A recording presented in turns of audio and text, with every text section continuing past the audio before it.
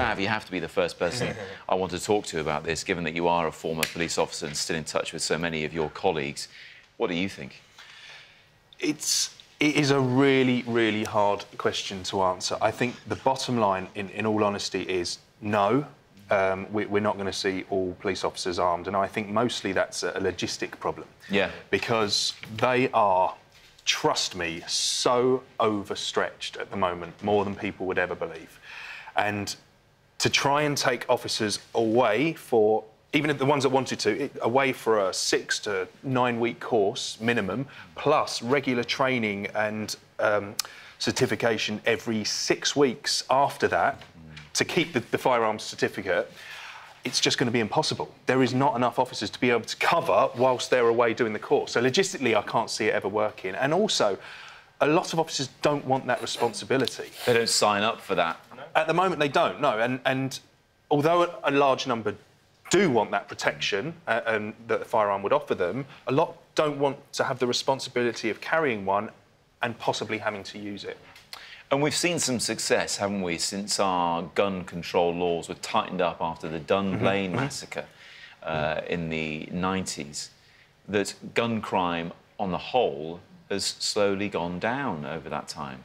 Yeah, I mean, it's still there, Yes. But statistically, it does appear to be going down. But there's also other threats I mean, that, that, a firearms unit would be very helpful for. For example, if someone's out, we, we had situations when I was in the police where someone was going uh, out and about with a crossbow or someone had an axe and was going out. Mm. We would call a firearms unit for something like that. So even though it's not put down statistically as a firearms incident, mm you would still need the backup of a firearms unit. And I was very lucky because I was in an area where we did have a permanent firearms unit on our patch. Yeah. So like you just mentioned there, there are other places in the UK that aren't so lucky and would have to call people in from, from miles away to come and do that. And if someone is coming at you with a weapon that's not a gun, like, a, like you say, a knife or an mm. axe or anything mm-hmm. else, mm. a crossbow, there are other ways to incapacitate them, for tasers, for example. Yeah, and, and the now they hadn't come in when I left the police, but obviously I do speak to a lot of my colleagues or former colleagues uh, about that, and they, are, by and large, are very impressed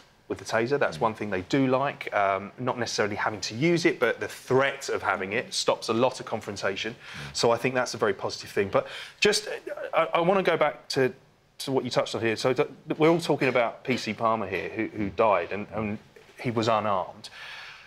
I was talking to a firearms officer last night, and we were both saying the same thing that even if he was armed, unfortunately, it's almost certainly going to be the same end result because he had literally a couple of seconds from that person running around the gates, which why they were open is another discussion, but running around the gates towards him.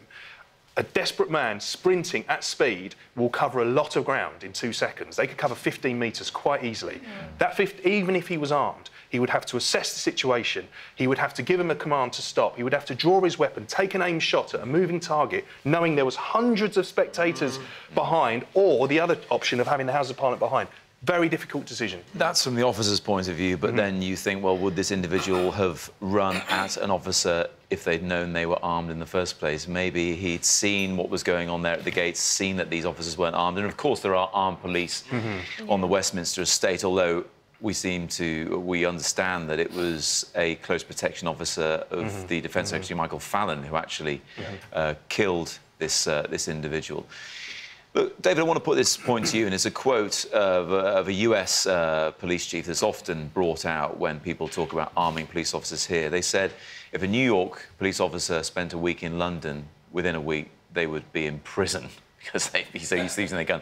If a London police officer spent a week in New York, within a week they'd be dead because of the difference in gun crime and using guns. Yeah. Do we really want to go down no, the route don't. of being like America? I mean, my personal feeling is that I think it fundamentally changes the dynamic of the policing, and I think you know we should be incredibly proud of the police in this country because actually they, they I have many friends who are police officers, and they they kind of walk this very difficult tightrope where you're in a community situation where you're trying to engage with the public and diffuse situations a great deal of the time, and then you're in these very rare events where you've got terrorist attacks and so on. So I think the thi- the minute you arm police, you change the dynamic. So when I lived in Los Angeles, you've got armed police. You completely feel very different about the police officer. You certainly wouldn't go and ask for directions from them, uh, which you would do in this country. Um, I certainly don't think you could train them all. You'd have to make sure they were revalid- revalidated the whole time. That would be incredibly expensive to do. And fundamentally, it doesn't change the terror threat in any Yeah. way. So I don't think it works.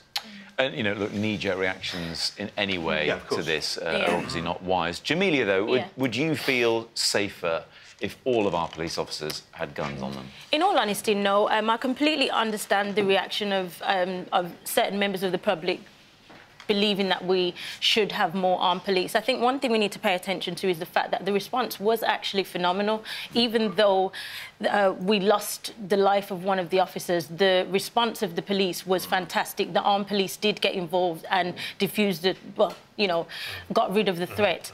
For me, though, as a black woman, I feel that one of my fears is that I, I watching what's happened in America, I feel that there is racial bias within the police, and I, I wouldn't feel comfortable or confident with the police running around with guns. There's already a disproportionate amount of black men dying in custody, and I'd be very worried that they'd become trigger happy on the streets. And, you know, I just think it would take uh, you know, you, you, you say like training and stuff, but can you train out of someone's mi- mindset racial bias? And that exists. We can't deny the fact that it does exist, and that's what scares me mo- more than anything else. You're absolutely right. It was after the Macpherson inquiry, following Mm-hmm. the death of Stephen Lawrence, that the police, the Metropolitan Police, was called institutionally racist. Yeah. They're obviously still trying to work through that. Mm -hmm. I think in America it is completely different. And the fact is that American police are armed. And Yeah. let's just get some figures out there. In England and Wales, in the 12 months to March 2016, British police discharged their firearms on just seven occasions. That's the highest since mm. 2009.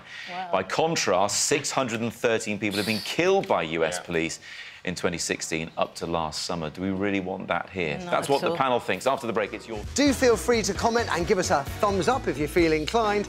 For more clips from the show and exclusive behind the scenes videos, click here. If you're new to the channel, click the subscribe button here to be automatically informed when new videos are available. Links to our other social media platforms can be found in the description. Thanks for watching.